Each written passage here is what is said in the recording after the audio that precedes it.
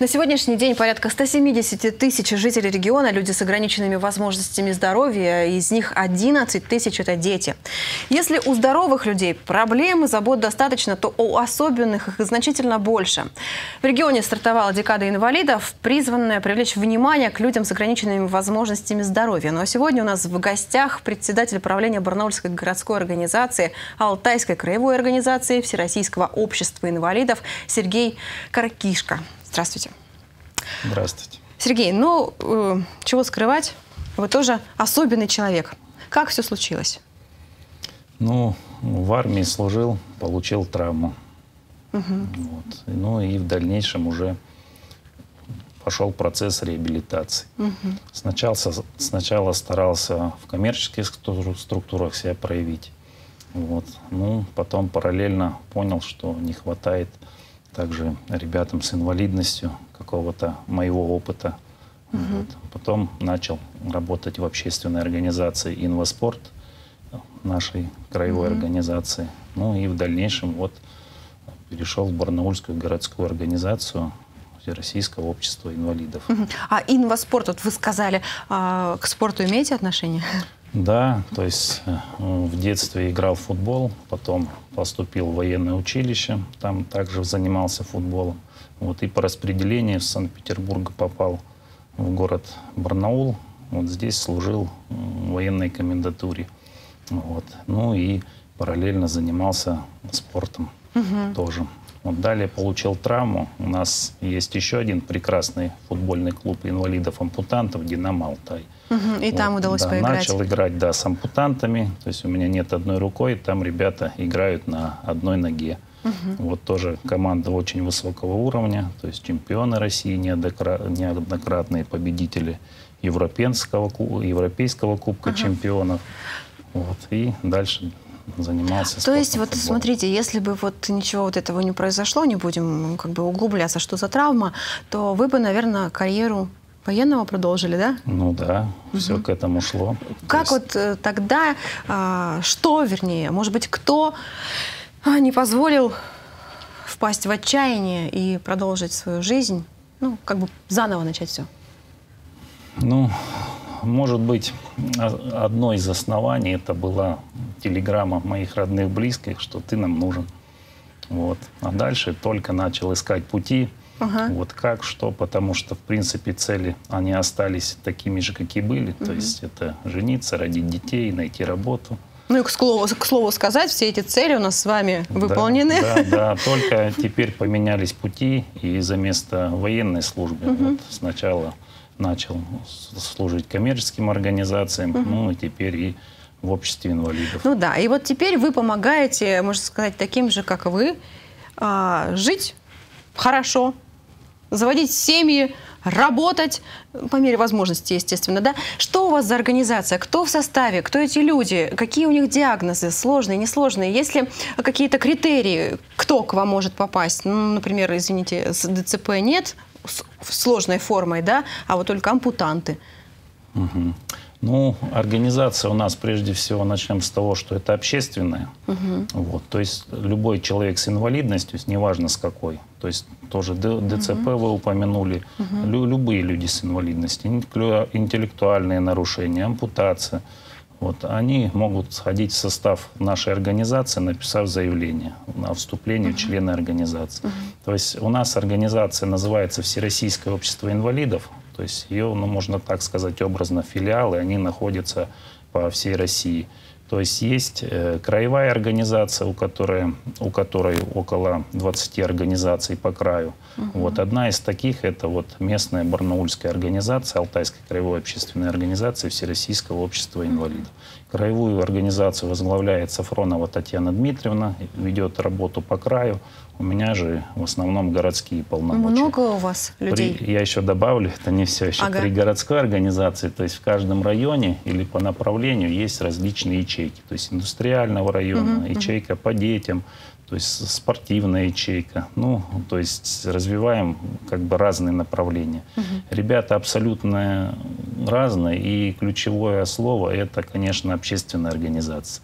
Потому что кто-то, придя в нее, он, будучи художником, кто-то пишет рассказы, кто-то занимается профессиональным спортом. И уже имея этот опыт, вот уже вокруг него формируются другие ребята, которые угу. готовы идти за ним. Угу. То есть, можно сказать, благодаря этому вы растете, развиваетесь. Пришел поэт, создали какой-то коллективчик да. небольшой Ячейка. на базе организации ячейки. Вот у нас поэтический кружок. Да. Появился там, значит, художник, да, какие-то мастер-классы тоже им преподает. Э, что дает в целом вот э, вступление в вашу организацию? Какую помощь вы оказываете? Или ну, это просто собрались здорово, люди по интересам? Ну, это разная помощь. То есть э, организация Всероссийского общества инвалидов, она направлена на то, чтобы была связь между органами исполнительной, законодательной mm-hmm. власти и, соответственно, народом. То есть э, где-то какие-то вопросы у ребят с инвалидностью возникают, мы уже на уровне власти или других структур различных уже решаем. То есть подключаемся, помогаем. Вот. Ну и большой, конечно, аспект это по направлениям. То есть это э, спорт, вот, это труд, трудоустройство. То есть также организация выходит, говорят, нужно кого-то, нам человек нужен с инвалидностью. Вот. вот стараемся, находим, но, как правило, сами ребята с ограниченными возможностями, вот одна из проблем тоже, у них недостаточная квалификация. Вот, надо mm-hmm. и обучать, то есть организовывать обучение mm-hmm. вот таких ребят. И дальше их уже попробовать в трудотерапию интегрировать уже в наше общество. Потому что ребята с инвалидностью, они абсолютно разные. То есть э, кому-то надо процесс реабилитации занимает полмесяца, вот, а у кого-то и э, годы уходят, вот, чтобы они на какой-то один равный уровень вышли. Угу. Вот, то есть все неоднозначно, все непросто, все индивидуально. Угу. Вот вы неоднократно сказали, что мы разделены на ячейки, по интересам, можно сказать. И вот спорт, спорт, спорт прозвучал. А, есть какая-то команда, есть какие-то спортивные достижения, о которых уже стоит говорить, так вот, может быть, из последних что-то? Ну, а моих э, не нужно, у меня уровень недостаточно Нет, я, наверное, не про вас, а уже э, про ваших подопечных, если можно так выразиться. Ну, смотрите, то есть э, к нам обращается человек с инвалидностью, угу. да, пишет заявление, вступает к нам в организацию. Да, мы уже с ним проводим беседы. То есть что он умеет? Он умеет петь, он умеет танцевать, он умеет э, играть в футбол. Угу. Вот, вот, например, вчера с тем же клубом «Динамо Алтайм» э, с президентом разговаривали. То есть угу. прошла информация по новостям, что парень получил травму молодой. Вот. Для семьи это горе. Мы между собой уже разговариваем. Вот, вот парень что-то ампутировали. Ничего себе. Да, что-то ампутировали. То есть вот И можно вот нам... Себе, этого, хороший игрок, да, игрок в команду. Да, это хороший игрок в команду. Надо вовремя как бы его найти, да, вовремя да, да, развить. Да, да. Вот. То есть э, кто-то, у кого-то другие потребности. То есть э, не спорт, ну, я уже сказал, да. Uh-huh. Вот уже с, э, связываемся с людьми, кто в этом плане может. То есть у кого-то интеллектуальные нарушения, на другую организацию выходим. Uh-huh. То есть как бы Всероссийская организация инвалидов, вот именно она в чем хороша, что можно направлять людей в разных направлениях. То есть если брать Алтайскую краевую нашу организацию, Сафронова Татьяна Дмитриевна ей руководит, у нее уже более серьезные возможности в том плане, чтобы отправлять ребят на всероссийский уровень.